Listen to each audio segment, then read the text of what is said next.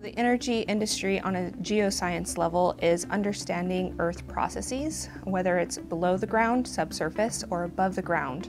It's scientists with a combination of kind of observations and analytical approaches to describe the world as they see it. We understand and we learn the Earth processes to better represent what we can provide to the consumer. The global population is set to be close to 10 billion by 2050.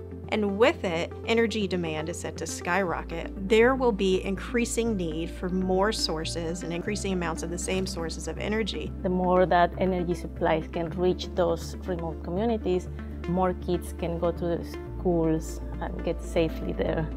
We're an industry that is uh, removing poverty from economics. The world is bigger than, than all of us, so we have to understand that we want to make that goal achievable by everyone. It's going to take us to help those who may not have those resources. My job is to make sure that we operate within the bounds of the regulatory framework. We closely monitor the environmental regulations. We are involved with the community. The enablement of hydrogen, the storage of carbon, the placement of windmills, the placement of roadways, it's all come an astounding distance. AI has grown quite a bit in the last few years, and uh, especially on the natural language processing. Seismic surveys are huge, and be able to analyze the whole thing might take months. But with latest advances in machine learning, AI, we can visualize a survey in, in a matter of hours.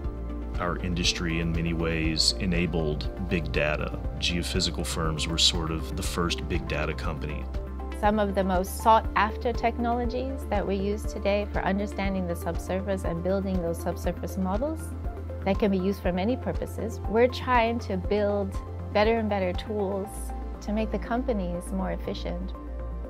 It's an opportunity to have a great career doing a job that matters, not just for yourself, but also for the world. It's very important to me and I think I make a difference in my job being able to bring more energy to those remote communities. Most people have the misconception that you need to be very experienced in the geoscience to get into geoscience.